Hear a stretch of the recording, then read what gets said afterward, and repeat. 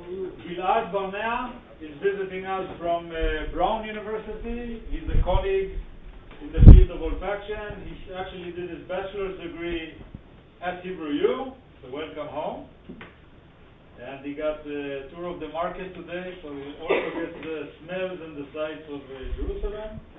He then did his PhD in New York University with uh, Joseph Schlesinger, and then moved to the laboratory of Richard Axel in uh, Columbia. And uh, following his postdoc with uh, Axel, he got his own uh, position where he is at now at Brown. So welcome, Gilad. Thank you for coming. Thank you for the invitation, and it's great to be here. In fact, it's really coming home because I I've not been here except for once, I think, since I graduated in '89, and um, I have people in the audience from basically all my stations in my life since my military, since uh, Ari came here also. so he was with me in, the, in my military service. I have a, a professor who taught me um, the basics of um, molecular biology, Hermona, and Michal, who was keeping me on time to finish the, the, the BA. And then the PhD I have a skip, but then I met Avihu when I was in uh, in Richard Axel's lab, so it's really exciting to be here to meet old friends, new friends, and um, students.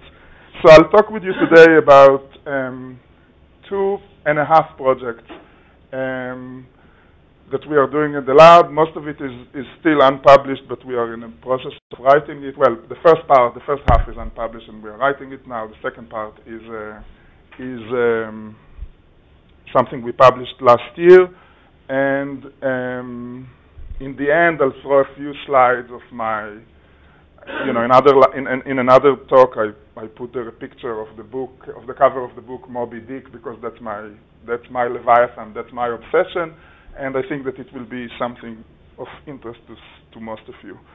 Um, so, I study olfaction. I'm starting this. Uh, if I studied vision, I wouldn't start here, but since I study olfaction, I have to to, to convince you that it's worth studying. So I'm using yet another modality uh, to, to, to illustrate the point that every organism collects information from the environment, and animals then use their brains to process this information and extract the relevant um, information that is uh, important for the survival of the species.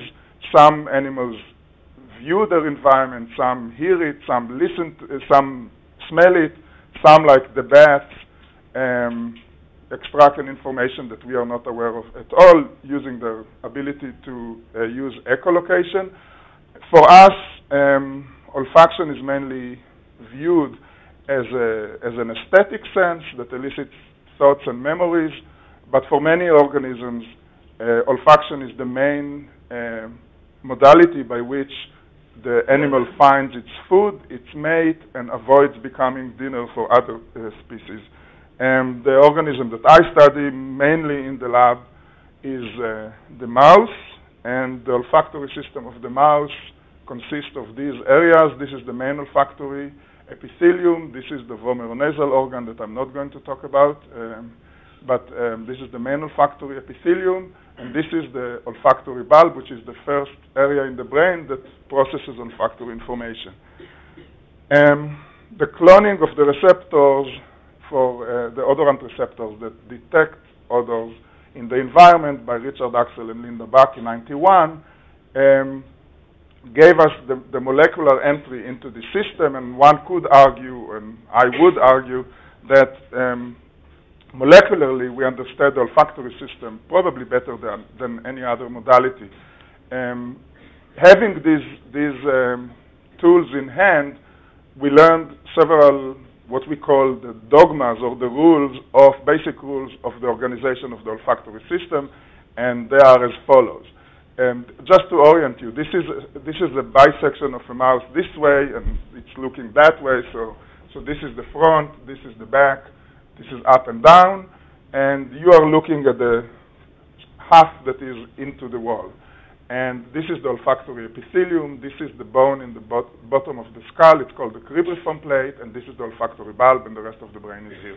Now, what we are doing here is these are two mice in which we modified um, these two receptors. M12 is one receptor, P2 is another receptor, and these, these uh, genes are modified to express a marker protein tau LAC-Z. Tau is a protein that, that drags LAC-Z along the axons, and LAC-Z is an enzyme that can be visualized by a substrate and turn the neurons that expresses it in blue.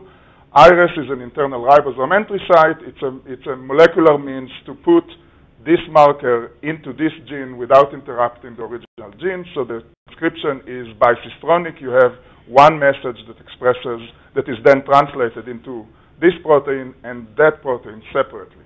So what we learn from this modification is as follows. One is that every, each one of these receptors is expressed by a population of neurons in the, in the epithelium. This, each neuron expresses only one, one receptor gene, indeed only one allele of each gene, and I'll show an evidence for it in the next slide.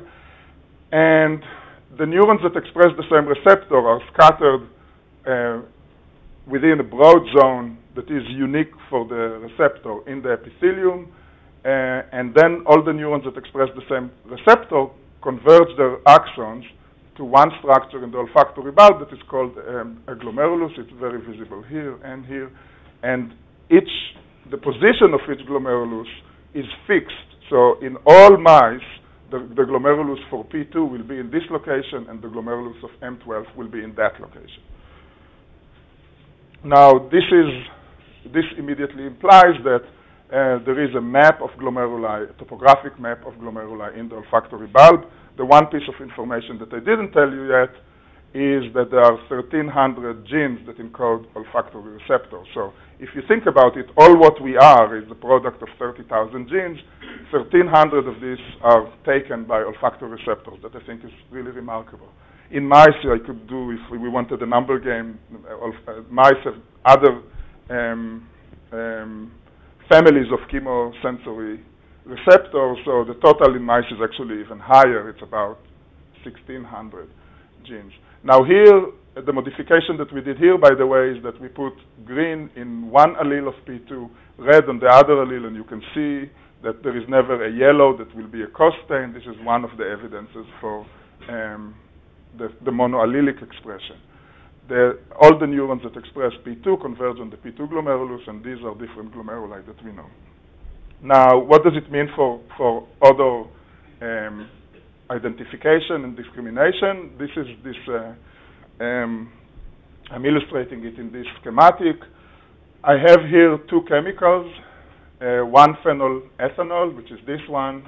Uh, smells, it smells to us like a rose, and hence I labeled it in red. And this is isoamyl acetate. It's like overripe banana, hence yellow. Um, these are neurons. Each one of them expresses one receptor, receptor 1, 2, 3, and so on. And then you have receptor 1 and 5 and 6 are activated by the banana smelling. Receptor 2, 3, and 6 are, are activated by the, the rose smelling compound. So you already see that the identity of the compound is, is deconstructed by the, by the identity of the receptor that it binds to and the neuron that expresses this receptor, which is activated.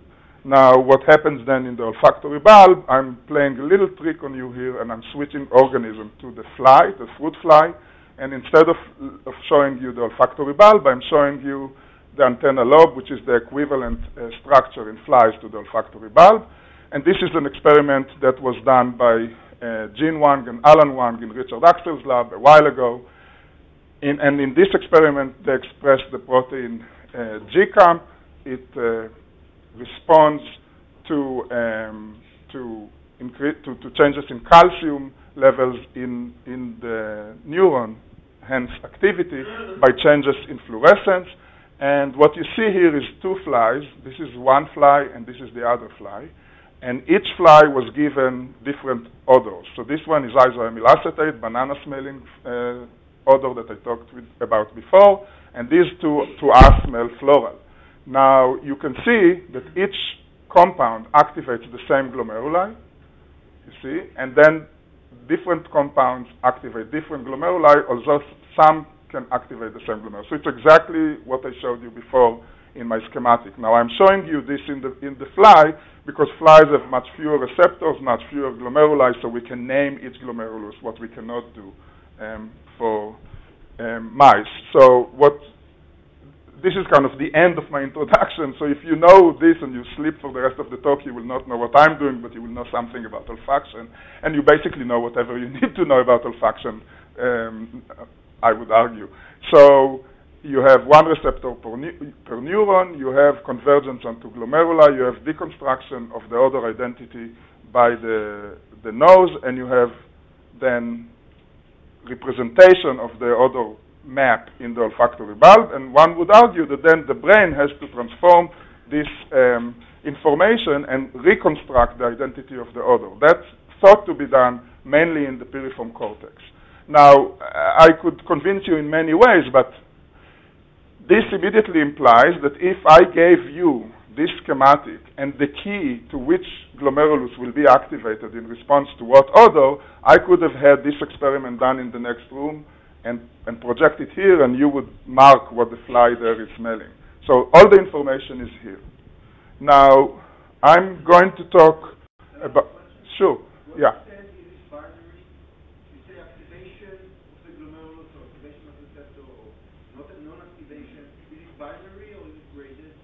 Well, for now, let's talk about binary. I mean, it's obviously more complicated because you have lateral inhibition. It's much, much, much more complicated than that. But in the end of the day, what I'm showing you here argues that if you have, let's talk about binary system, the information is here. Obviously, to get there, you have a little bit more complicated system. Um, I'm going to tell you two main stories about olfaction. Um, one is, is about how the system builds itself, kind of a, a developmental story. And the other is about another family of receptors that is thought to respond to uh, to innate uh, to odors that elicit innate behaviors through uh, activation of hardwired system. So now I'm talking the first part. I'm talking about um, the guidance aspect of the of the development of the system, and the system, as I described it until now, is the is the main part of the main olfactory system, and this and the odors there are more mostly learned odors. So you are born, you are not born with an innate uh, preference for banana or rose, but you, your experience endows these, these stimuli with value. The, the, the system that I will present in the second half uh, is a system that is meant to deal with odors that elicit innate behaviors. It's debatable whether humans have odors that elicit be innate behaviors, but I think that this system is kind of giving us an entry point. So when I talk about the development of the system, you can see in this illustration uh, already the, the, the, challenge for the system in development. Because this neuron here and that neuron there are located in very different environment, and the trajectory of their axon is totally opposite, or well, not totally opposite, but rather different. Let's say this one has to go north, and this one has to go mostly southeast um, this is this is a very different organization than all other um, modalities because the in vision neighboring relationship in the retina are maintained in the auditory system. the frequency map and neurons next to each other keep the projection uh, or the, they project to, to, to adjacent points everybody here knows the homunculus and all that. I mean, the projection from this point and that point is closer than the projection of this point to that point. Olfaction is different. The periphery, the order or the, or the organization of the periphery has nothing to do with the projection, and it is indeed the identity of the gene, of the receptor, that is chosen to be expressed by the neuron that determines its destination. So that immediately implies two predictions. One prediction is that if you alter this, the identity of the receptor, you should alter the, the projection destination. And two, you would argue that the receptor has to be not only on the dendrite, where it binds others, but also on the axon, where guidance occurs. So the first prediction, I'm not showing you the slide, but it was shown in a very nice paper by Fan Wang from Richard Axel's lab. She, she swapped different um, receptor genes. She took the P2 receptor that I showed you before, put instead of the coding sequence a coding sequence of another receptor, and the neurons change their trajectory. And in, interestingly, they didn't go to either one; they went somewhere in the way. But the more, but the more closer to the P2 that the receptor that she swapped in was, the closer to the to the right glomerulus it was. For the other prediction, I generated um, antibodies to stain the receptors. When I came, just for the students here, don't believe anybody. If you want to do something, do it. I came to my mentor and admired mentor, uh, Richard Axel, when I was uh, starting, and I asked him, why did you do all this fancy genetics if you could just make an antibody? He said, oh, it's impossible to make antibodies for receptor. Come on, impossible. There is no such thing as impossible. So, well, try, and I tried, and this is it. So, don't listen to anybody. You want to do it, do it, and, and, and in the end, it, it really panned out to be very interesting. So, this is, this is uh, staining with one of these antibodies. The section is through the tissue. This is the external world. This is air in your nose or in the mouse's nose. And these are the, this is the layer of the receptor neurons. These are the precursor cells. Um, I can show it here because I'll use it later. Olfactory epithelium is one of these places where there is constant uh, generation of neurons. So you have precursors here, uh, stem cells here. They they differentiate, and at a certain stage they choose the receptor and express it. These big neurons are the are the are the sensory neurons, and these here are support cells. And again, this is the outside world. Now, this is a, a staining with one antibody. You can see that the strongest stain is in this um, cili ciliated dendritic area where the, the neuron is exposed to the external air, and you have a lot of staining in the cell body, and you can start seeing the beginning of the axon. Now, this is another fancier uh, fluorescent staining, two different epitopes of the same receptors, and you can see that subpopulation of neurons expresses them and they detect the same receptor. And then when we looked at the bulb, we could see the receptor protein in the axonal tip. So, so just because we are anal, we wanted to make sure that the, the axons that we are labeling are indeed the axons that we think about. So we had a mouse that we generated in which the neuron that expressed MOR28, or the gene for MOR28, is altered, as I showed you before, with LAG-Z, which we stained here, beta-gal, and um, the receptor is, is uh, marked with an antibody, and you can see it's the same glomerulus. By the way, this is a very nice way to see the glomeruli themselves. These are the dark, empty spaces. This, the blue here is nuclear staining. And you can actually see also another thing that I told you about before, which is the monoallelic expression. Only one allele expressed, this is a heterozygote, only one allele expresses LAG-Z, hence only half of the glomerulus is filled with the LAG-Z positive, and the rest of the glomerulus is the other allele. Um, okay, so what does the receptor do? How does the receptor uh, do anything in order to direct the the neuron to its uh, destination. So there are many, many models. The model that I like um, is the Sperry model, in which the, the receptors smell um, secreted ligands uh, that appear in gradients in the brain or in the bulb. There is actually not a single uh, piece of data that supports this model, but it's a difficult model to support. And my hope and belief is that in one day we will either rule it out or rule it in. Uh, but until then, we do what we can. And one model was that in the end, so it's a multi-step uh, process, and the idea was that in the end, when, when the neurons really coalesce on the, on the glomerular destination, there is an involvement of uh, homotypic interaction, interaction between like axons. Now, this by definition is a, is a um, um, concentration dependent uh, event. So we said, let's change the, the concentration of a population that expresses a particular receptor. So now if everything is, let's kind of play the numbers game. So let's say I told you 1,300 genes. Um, I lied a little bit because 30% of them or 25% of them are pseudogenes or, genes that do not encode an active receptor. So we are left with approximately 1,000 active genes. So if everything is equal, it's one tenth of a percent expresses one receptor. So we said, okay, let's bring it up to 1% or 5%. So to do that, we generated mice that, expressing, that express the following alleles. So we have um, OMP, which is a marker for all sensory neurons in the olfactory epithelium. OMP expresses the transcription factor TTA. And then a second allele is a transgene TET-O, the response element for TTA, driving the, the expression of MOR28, the same receptor that I showed you, with the internal ribosome entry site and tau Z. So every neuron that expresses, theoretically, every neuron in the epithelium should have expressed both MR28 and LAC-Z. This approach was tried with another receptor, and they got 95% expression, and they called it a monoclonal nose. Um, since this is a transgene, there is a, um, a phenomenon called um, uh, integration, variegation of the integration of the transgene, position effect uh, variegation. That's the name of it.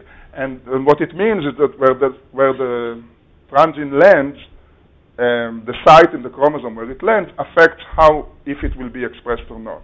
So we chose, uh, since the monoclonal nose was already done and it wouldn't answer what we needed because you couldn't see much other than the receptor, we chose two uh, founders that express the receptor more sparsely but much more concentrated in a concentrated manner than wild type. So we have one, one founder that expresses this in 1% of the cells, so about 10 folds, and the other one in 5%, so in 50 folds.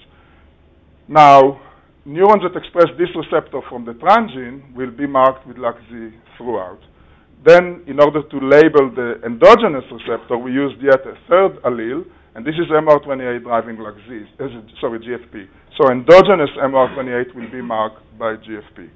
So when we looked at the epithelium, this is a section through the epithelium, you see GFP or endogenous receptor is expressed only in one zone, whereas LAC-Z is expressed also outside of the zone. Now, if you look at the bulb, instead of the one, well, this died. So we'll go low tech. So instead of the, of the, of the wild-type glomerulus, you see multiple glomeruli, okay? And in fact, we, we see about 30 glomeruli, which is what we would expect. Now, let, so we, will, we call these glomeruli ectopic glomeruli. Now, for the rest of the talk, I'm going to talk yet about another population, a subpopulation of these, and that's what, what, I'm going, what I'm going to introduce here. And these are the rerouted glomeruli. Now here we have the GFP mouse, you have one glomerulus. Sometimes when you have um, the transgene also, you have incorporation of um, neurons that express the transgene incorporating into so thank you, into the the wild type glomerulus. In other cases, which the more interesting ones, you have wild type fibers leave their glomerulus or not even reaching this glomerulus and innervate another other glomeruli, and we call these rerouted glomeruli. We never see that in wild type. So this is an effect of the expression of um, of the transgene. Just to remind you, the green ones do not express the transgene. So this is a cell non-autonomous effect. So it's an, it's an effect on the wild-type population by the identity of their neighbors. So this is a strong um, evidence for homotypic interaction. Now, interestingly, I told you this is the one the one percent expressors and this is the five percent, but the number of rerouted glomeruli is is capped, and whereas the number of, of ectopic glomeruli is, is proportional to the percentage. So that suggests that there is a, an area or a neighborhood or a cul-de-sac where the rerouting can occur. Now, with the TTA, we can play some games uh, and ask temporal questions because TTA, uh, the TTA stands for tetracycline. Uh, TTA is the tetracycline uh, response. TET-O is the tetracycline response element, and TTA is the is the transcription factor that, that activates it. So if you give doxycycline, which is an, an antibiotic that is um, equivalent from the family of tetracycline, you can affect the, the expression. So there are two versions of this. Uh, it's also called reverse and, and, and TET, but we, we use the, the terminology of TTA and RTTA, so I'm showing you only TTA. TTA is active, constitutively active, when you don't give doxycycline, and it's inhibited by addition of the drug doxycycline in the food. And doxycycline is a very easy drug to administer to mice, and you can even feed pregnant females, and it goes through the placenta to the to the embryos. So what we are doing here is we are asking what, how can you affect the formation of the rerouting by the timing of um, the insult that you do to the system. So in other words, during gestation here, we gave doxycycline, so there is no transgene. And then we removed doxycycline, the half-life is few days, and we waited eight months. Now I have to, I, I will show this kind of um, um, schematic throughout the talk, so I have to take you here slowly and then I'll do it faster. So some, some pieces of information I have to give you here is, I told you that there is regeneration of the neurons. So we measure the half-life of the neurons, and the half-life is about two months. So we waited about four half-lives after the, the beginning, after the end of, of not allow, of, of allowing the system to, to develop normally. So here we start the insult to the system, the expression of the transgene, and we wait four half-lives.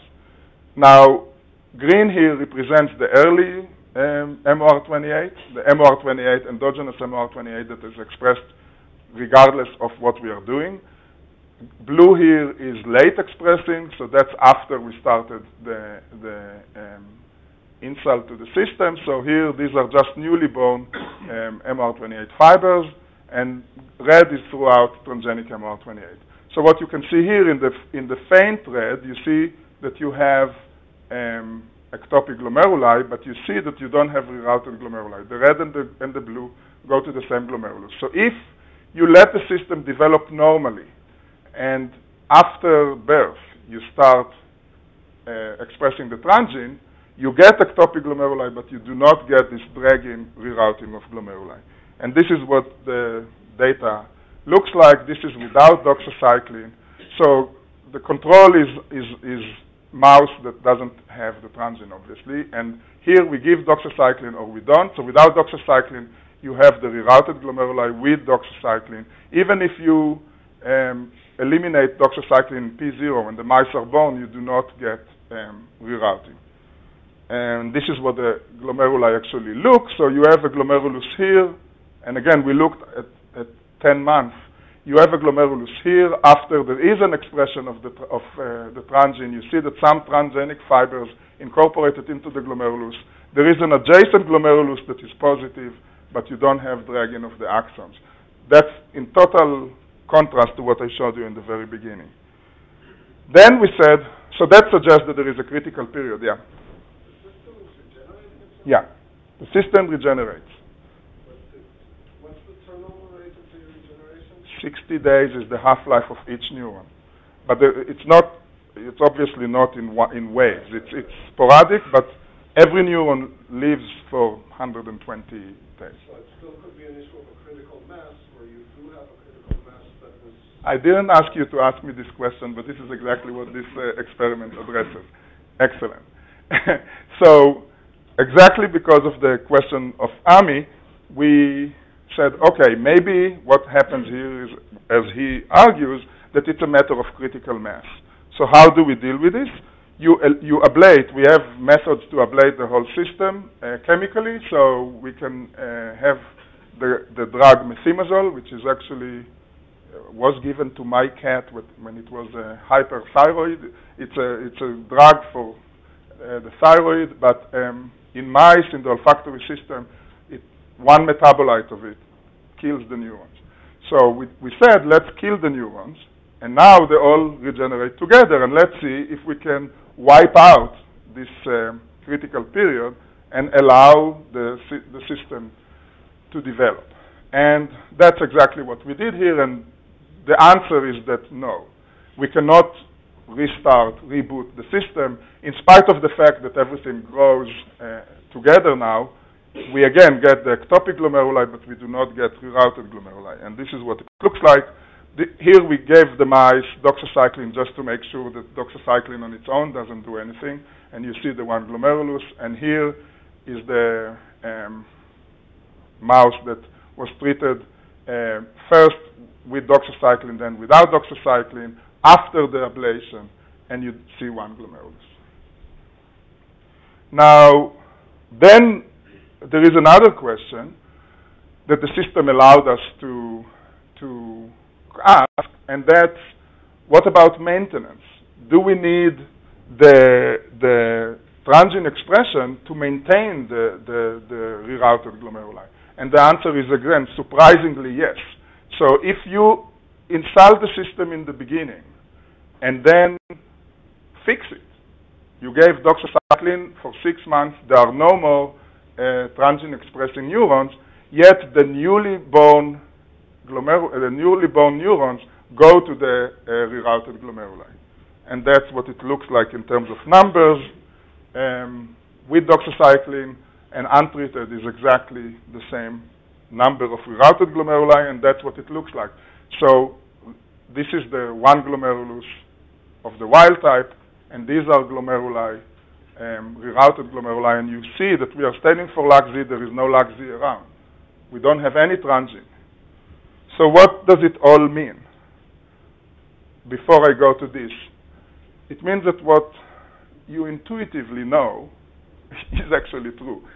Um, the insult that you do to the developing nervous system, let's say in pregnancy, I would argue probably also in human, even if it's a short insult, it may have long-lasting effects in adulthood, even on neurons that have never been exposed to the insult. So the women among us have to be very careful when they are pregnant with the choices that they make. Um, it, that's kind of, again, like mom tells you, look left and right before you cross the road. But I think that this is a, it's a, it's a strongest, strongest evidence for it in a system that I'm aware of. It's also the strongest evidence for homotypic attraction in this system that, that exists because until now there were some evidence for homotypic attraction in the olfactory system, but it was mostly an effect on the mutant um, um, neurons. Here I'm, I'm showing you the, an effect on the wild type neurons by other neurons that you manipulate. So the evidence is somewhat stronger.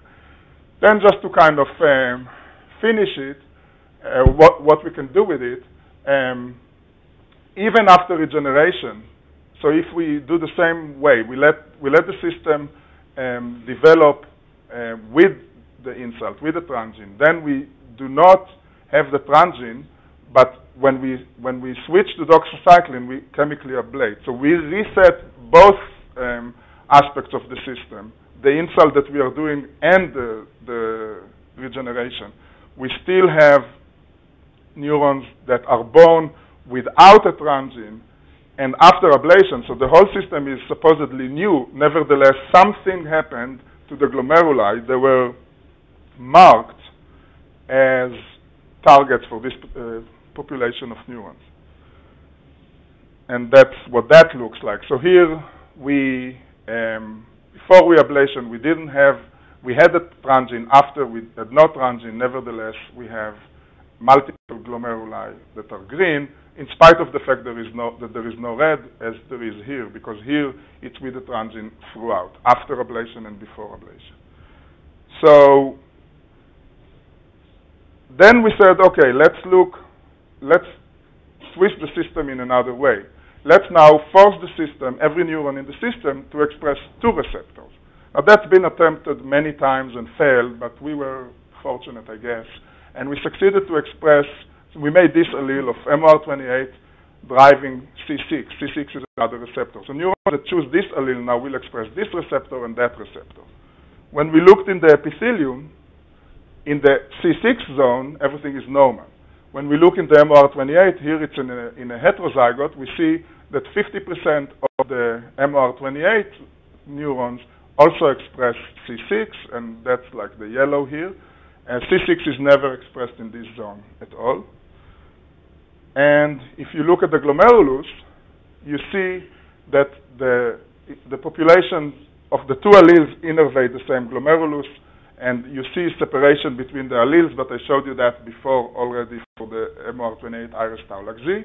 So that's normal. However, what's intriguing here is that if you stain with MOR28, you see that there is difference in intensity of the staining. So the, that implies that there is less MOR28 present in the axon where there is um, C6 expressed. So that suggests a model in which um, there is some limiting factor that it can be in the protein level or in the RNA level that, that limits how much protein can be in the axon. It doesn't exist in the, in the epithelium because you cannot really see um, any difference between, any distinguish the two populations here, although it may be the, the summation effect of thousands of neurons. Um, so we are now after the limiting factor. The other thing that um, we can say from this, al although cautiously, is that this is consistent with the, the, the idea that there is no um, uh, repulsion, heterotypic repulsion, because had there been heterotypic repulsion, the neurons will not know where to go, expressing these two neurons, these two different receptors. Obviously, one second, please. Obviously, this is clear, clearly not a, a proof of that because there may be dominance of one receptor over the other. So we are now we have 16 um, founders or 16 chimera for the mice that express the converse, C6, iris, OR28. So now the, these neurons will express both receptors, but from the C6 uh, locus, and we'll see what happens there. Yeah, please. What we're looking at in the green, that is the axon, the axon terminal. That's the termini of the axon, yeah aren't we seeing the axon in the nerve? And the previous slide, we saw the cell bodies very nicely, but we didn't see the axons there either. Right, because that's the question of level, and in fact, in the in the beginning, in the paper that we published about the axon, we claimed that the receptor is only in the axonal tip, but now we know that it, it, it is also in the axon. In fact, you can see here, these are axons of the of the of the red. It's so. These are one micron axons. These are fascicles. These are fascicles. That's the way they look there. So you're saying that the receptor is highly concentrated in the synaptic terminal in the glomerulus? No, that's what I said in the beginning. Now we know that it's not the case. It's in the axon, but it's low. It's in low level in the axon and in the in the. And high level in the terminal. No, But no. that's what we're looking at. Sorry, sorry. In the terminal, you have 10,000 neurons. This is not a single terminal. These are these are the termini of 10,000 axons. But earlier you showed us lots and lots of axons converging on a glomerulus. Right, And here we don't see those lots and lots of axons. right. Why? If I showed with, let me. This is a section, and what I showed you before was not a section. So if I show you, We're the middle of number, number eight. wait, wait, here. This is the equivalent of the same thing. It's the same question. Why don't we see the axons? These are the these are the tau laxina. These are the same thing that you saw before. Can you go to slide number eight, where, where, where you began?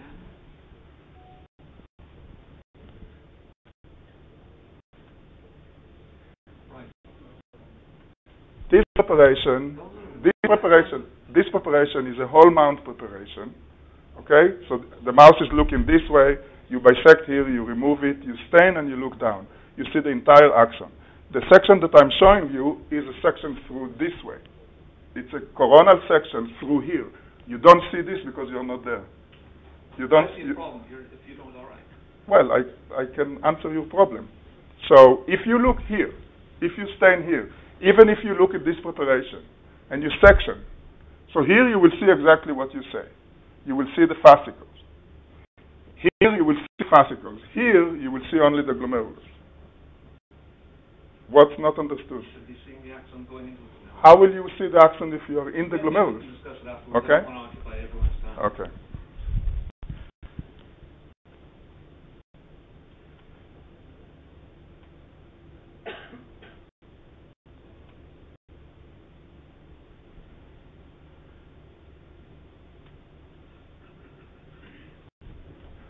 So having two populations of, of two intensities of, um, of expression of the protein, we decided let's cross these to the um, original, the first part of my story, where we are using um, the, the disturbance with the transgene and see whether this population or that population preferentially goes to the rerouted glomeruli.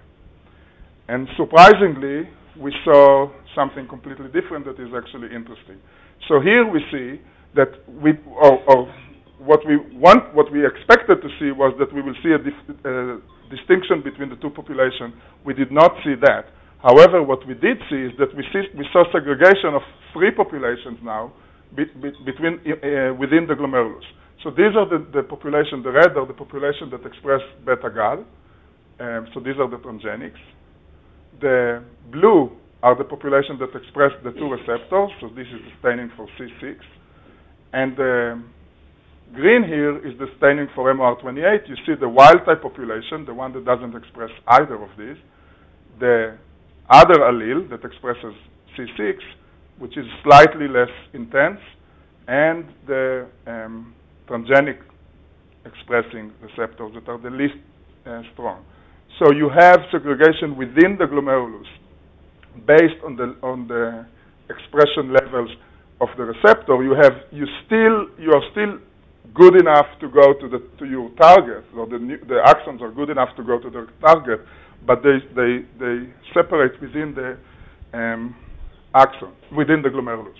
Now, um, when my students saw this, they said that this looks almost like the well. If they were in Israel, they would say, I, I just saw it today on the bus. They would say that this looks like the the symbol of Tnuva. Since we are not in Israel, they said that it looks like Pepsi. And so we pseudo-color the, the, the green with, with white, and this is exactly Pepsi. Conveniently, I'm going from here to the Netherlands. That's their flag, and if I twist it um, 90 degrees, uh, it's the French flag where I'm going from the Netherlands, so I'm in business. So this is the end of this story, and yeah. Yeah. like P10, P0, Yeah, yeah, yeah. And there is no there is no preference for so it's not a question of levels. And it looks exactly the same.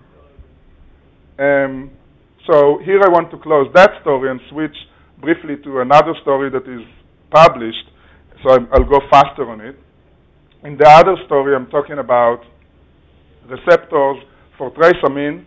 Trace amines are volatile amines that are relatives um, of dopamine, serotonin, uh, and nor- noradrenaline, but they are not, um, they are volatile. They are found in the environment.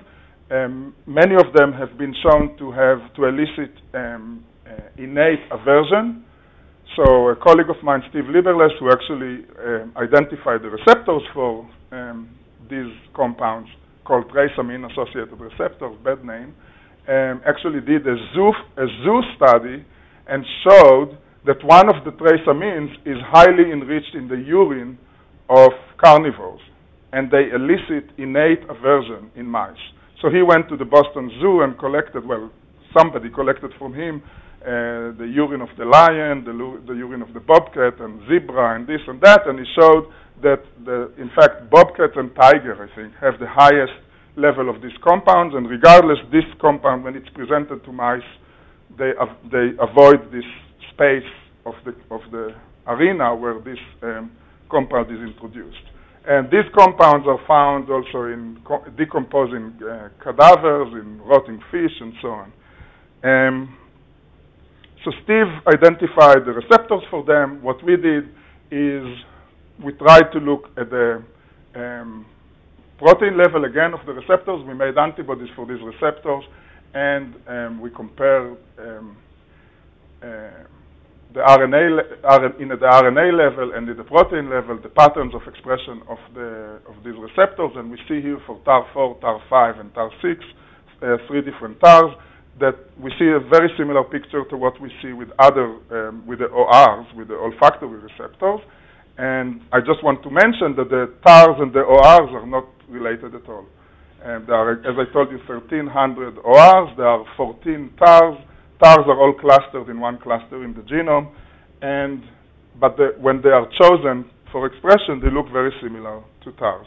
And here is again a staining of the, of the neuron, and in a very high magnification, you can see that the majority of the protein, again, is in the dendritic knob, and you see slight beginning of axonal staining. And if you look in the olfactory bulb, again, you see the glomeruli that are stained with the TARS. Um, now, if you look in a mouse in which we modified the TAR4, one of the TARs, to express stars, to express Cre, sorry, and uh, another allele that expresses the TD tomato reporter for Cre, you see that TAR4 converges on multiple glomeruli. So about four to six, which is more than the two that um, ORs are expressed on.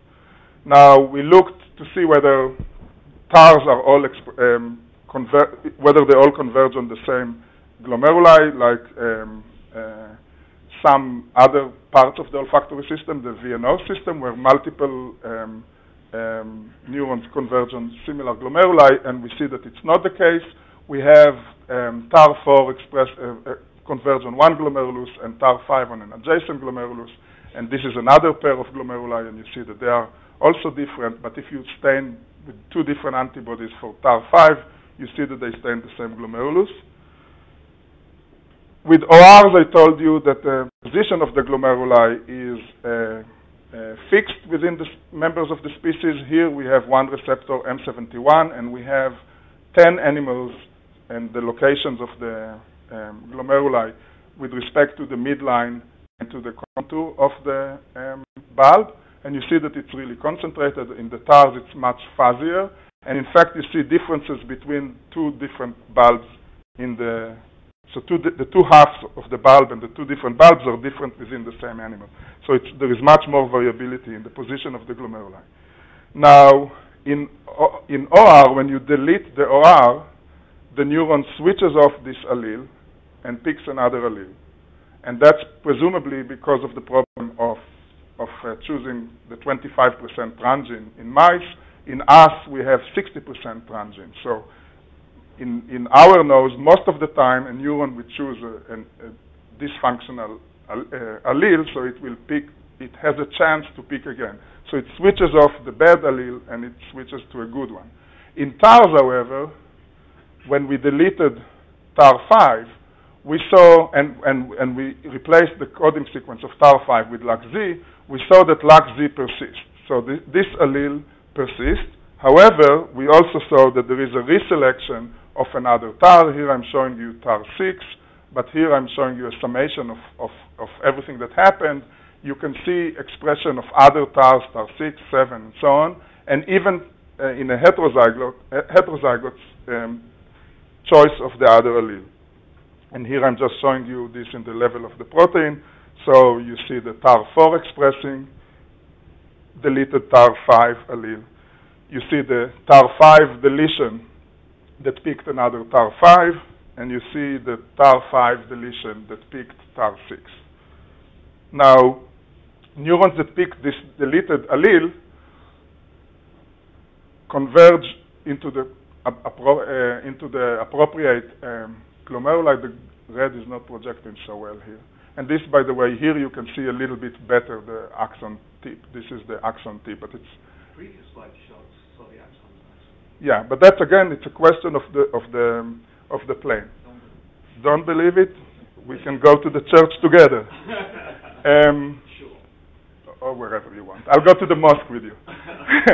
um, now that allowed us to look at the entire system because with a certain frequency, the the neurons that picked the wrong allele, the the, the defunct allele, picked every other tar. So here you see, and, and they are still marked by the LAC-Z. So you see that there is a band of glomeruli that are the tar glomeruli. These are dorsal glomeruli, which is consistent with the notion that some dorsal um, um, glomeruli respond to innate behaviors. So what we are doing now with it is that we have the three alleles of three different TARs, TAR4, TAR5, and TAR6, and again, the idea in the field is that these um, uh, that neurons that express these receptors mediate um, innate responses to, to the ligands, and that the, the, um, the circuits are hardwired. So what we are doing with it now is we are asking two main questions. One, by introducing a Cre-dependent um, channel rhodopsin 2, we will use optogenetics to see if we can activate the glomerulus and bypass the whole detection part and elicit innate avoidance. So that will suggest that this is indeed um, a hardwired circuit. And two, we are using electroporation. In, we are marking a particular glomerulus for TAR with a fluorescent protein, and we are electroporating a dye into this glomerulus and, and following the projections into the cortex and the amygdala. And if it indeed mediates um, um, aversion, we would expect uh, mostly projections to the amygdala, or at least projections that are more um, um, stereotyped than the projection that ORs have to the piriform cortex. In the last few minutes, I just want to show you the system that, that we are developing for uh, marking and manipulating neural circuits transsynaptically. Um, this is a, a, a, grave need for the for the entire neuroscience community. Everybody is using uh, viruses to do it now or some people are using lectins. These uh, techniques are marred with difficulties and problems, and uh, in the many years that I was a postdoc in Richard Axel's lab, we were using every uh, system that you read about, and it was not uh, in the olfactory system we could show that the different difficulties with all of these systems. So in my in my desperation, I went back to my to my roots in the signaling path in the signaling field where, where I did my PhD, and I developed um, a synthetic signaling pathway that we are trying to use to mark circuits. So I'm using this as a transition. This is a, a panel from the contemporary British artist Damien Hirst. Uh, of this year, the whole, you know, he became not, uh, notorious and famous for the uh, pickled sharks and bisected cows and all that. But he has also a series of, of, of uh, panels that have these kind of dots or spheres, and each one of them represents a different chemical. So I couldn't pass that because that's actually what's happening. According to our model in the olfactory, if is glomeruli, then, then this is it. So, so again, I, if, if we had, so why am, I, why am I interested in this? Because as a molecular biologist, in order to follow uh, the, the transformation that the brain does to the map in the bulb, what I want to do is I want to follow the projection from the mitral cells, the projection neurons that receive input from this glomerulus. Now, what I have to tell you is yet the last part of the unity rule. So we have one receptor per, neu per neuron, one glomerulus, or two per bulb, per, um, per neuron that express a particular receptor. And then the next unity part is one mitral cell, one projection sorry, one glomerulus per mitral cell. So each mitral cell receives input from a single glomerulus. So each mitral cell, each projection neuron, represent a particular receptor that was expressed presynaptically. Okay? Now there are about 20 mitral cells, 20 to 50 mitral cells. The new number is 9. 9, okay. So it's going down. When I started, it was 100. So 9. 10, 10 mitral cells per glomerulus. Um, and if we had a marker for the mitral cells that receive input from this glomerulus, we could do exactly this trick, do marker M1 for this mitral cell, and do iris tau Z and follow the projection. Um, but we don't. Nature cannot be that generous to us. But then actually we do, because these mitral, so this is P2 neurons, this is the P2 glomerulus, so the mitral cell here, I can call it the P2 mitral cell right? Because I told you that it receives input only from the P2 glomerulus. The only problem with it is that the genetic marker that I have is in the wrong cell. It's in the presynaptic cell. So in order to mark these mitral cells, the challenge now is a technical challenge of how do I put a genetic marker in one cell and cause an event in the cell that talks to it. Or as I put it here, you have these presynaptic neurons, you have that postsynaptic neurons, if you have something that can respond to a ligand that will be secreted from one population of neurons, you will label these neurons. That's the idea. So to translate that very crude idea, and that's, by the way, how nature solves it in, in, in chemical synapses with neurotransmitters. So what we need here is we need a signaling pathway. We need it to be short because every component translates into an allele that we have to introduce into the animal.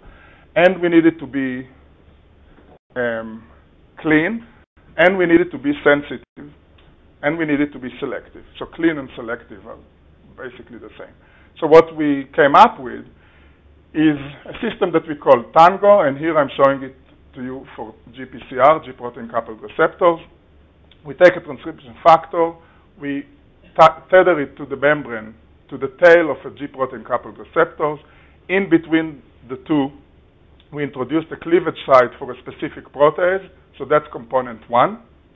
Component two of fusion protein 2 is arresting a protein that is recruited to activate the G protein coupled receptors, and it's fused to a protease that cleaves this site. The protease that we are using is the tobacco H virus, TEV, and the site here is a 7 amino acid recognition site for TEV. So there is very high specificity here. These are the two components, hence 2 to tango, the name of the system. The, the third component, that is a trivial component, is a reporter gene under transcription for control of this transcription factor. And the last component is a ligand that activates this pathway. So now you have a transcription factor that is not in the system and it's tethered to the membrane, so it doesn't activate the reporter. When you provide the ligand, the GPCR is activated, the arrestin is recruited, the protease comes, cleaves, the transcription factor is free to go to the nucleus and activate the reporter. And this is exactly what we show here. I'll go quickly because I assume that there are no many biochemists or molecular biologists in the, in the audience because this could be used, it's an assay that could be used for any G protein coupled receptor that you're interested in.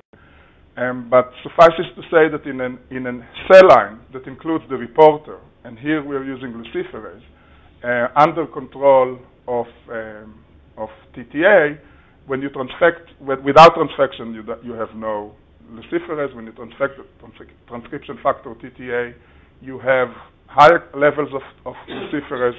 If you transfect any of the components alone, you have nothing. If you express both of them together, but without the ligand, this is, I'm showing it here for the vasopressin receptor AVPR2. So without vasopressin, you have this meager one cell, and if you put, if you add vasopressin, you have expression of the of the ligand. I'm, I'll skip this because here we are showing specificity. That's what we are doing for the transsynaptic um, system. We are expressing the tango parts in all neurons. We are expressing tethered form, and we are doing it for the glucagon receptor. We are expressing a, a membrane tethered form of glucagon, and we are tethering it to the synaptic protein neurexin with a long linker in between so it can cross the synapse. And um, we are expressing this part only in the population of neurons for which we have a, a, a marker. We are trying it uh, in mice. It's very complicated to do all of it because it takes, you have four alleles. By the time that you have all of them together, it's two years. Then you want to change something, you have to start all over. So we switched to test it in flies and actually also in C. elegans. C. elegans gives you the other benefit that there are only 302 neurons and all the synapses are mapped. So if you see a, a, a signal, you know if it's relevant or if it's background. Um, we started with the fly before we started with the C. elegans, and I don't have a picture, but um, we have very preliminary data that suggests that it may work. I'm not. I'm very careful here. I was. I've been working on it for 17 years. This is just the the same thing that I showed you before, but with a tethered um, glucagon in vivo, in vitro, sorry. So I just want to close by thanking the people who did um, the work, and this is with a quote for our former foreign minister in the U.S. She wrote a book, It Takes a Village. Everybody who does science knows that it takes a village. And these are four graduate students whose work I showed. This is a brilliant undergraduate who worked with me and is now a, a PhD student at Columbia. He came up with the idea to use the tethered um, glucagon. This is another uh, brilliant undergraduate who uh, actually established the whole thing in flies, and then the rest of the people are doing other projects that I didn't present. So I'll take any questions that you want, including axons. Thank you.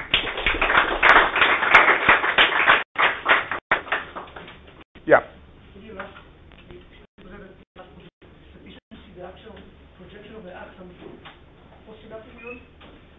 Yeah, so in the fly, you mean? No, fly in the mouse. I think about so you can do PR staining for postsynaptic cells when the bacteria is in trouble. You just follow the, the, the axonal distribution. So yeah, we can. So the beauty here is that unlike the questioned uh, pictures where I'm looking at the endogenous receptor, in this system we are ending in transcription. So then you have high levels of expression.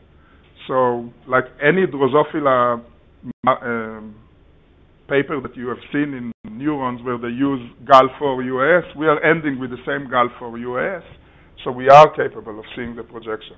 So at this point, the problems that we had is we used two flies, one um, expressing a marker, expressing the, the ligand in um, under the control of a marker that so flies have a neuro, have a one receptor that is expressed in all olfactory um, sensory neurons. So let's say like OMP that I showed you here. So we use this marker to drive the ligand. So that should should stain all glomeruli and all um, projection neurons. Now we see fewer projection neurons what, than what we expected, so we may have a signal issue there. And again, it, these are results from last week. In a, in a parallel experiment, we put the ligand under control of one particular receptor. There we see decent number of projection neurons, but we see also something in an area that we wouldn't have expected. So that may be reflecting a retrograde labeling and we are not sure yet. But that's kind of where we stand. But it's it's very easy because you are ending in transcription. It's very easy to see um, projections. What I wanted to mention also is that this is not only for for tracing, because you end in transcription, you can put whatever the heck you want. You can put channel rhodopsin and use um, optogenetics. You can put um, diphtheria toxin and kill the circuit. You can put uh, inward rectifying potassium channel and, and hyperpolarize the cir circuit and so on. Yeah, Herman.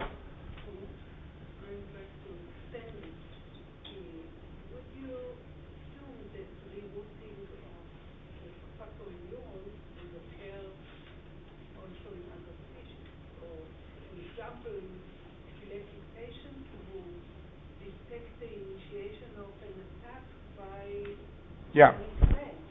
In fact, I, I redid my kitchen, and the person who was um, doing the, the marble um, told me that that's exactly what she suffers from. She she has uh, epilepsy, and her canary in the mine is that she starts having hallucinatory smoke um, smell.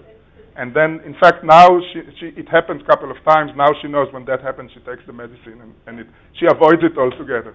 Now, it's not known if this is because of rerouting or uh, one of the uh, centers of sources of, of, epilepsy are actually in one of the areas to which the olfactory bulb projects. So the anterior piriform and, and um, olfactory tubercle, these areas are kind of close or, or, or maybe even in, um, include areas that start um, um, epileptic attacks. So it's possible that this is the case, or maybe there is something else to it. But yeah, it's a, it's a known, um, um, again, canary in the mine. I'll, I'll, I'll, hijack your, your question to another exciting um, story that actually a collaboration between my friend Mark Albers in MGH who is a, a physician who works on Alzheimer's and see patients with Alzheimer's, and also an olf- olfactologist. And together we have projects on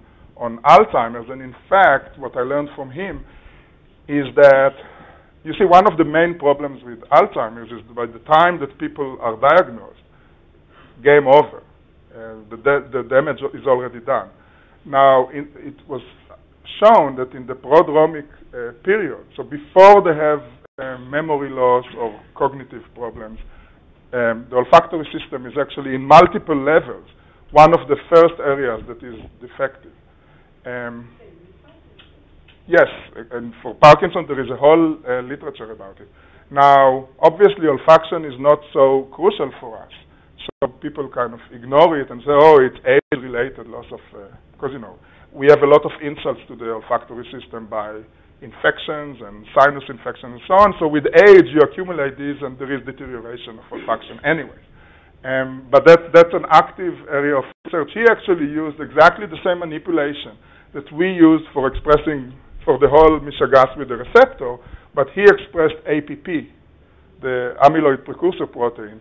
And there also you see effects that are cell non-autonomous. You see cell death, you see rerouting of, uh, of axons. It's, it's a very interesting, uh, we have a couple of papers and there are some others that. Maybe there is we one last one. Okay. questions uh, after Okay.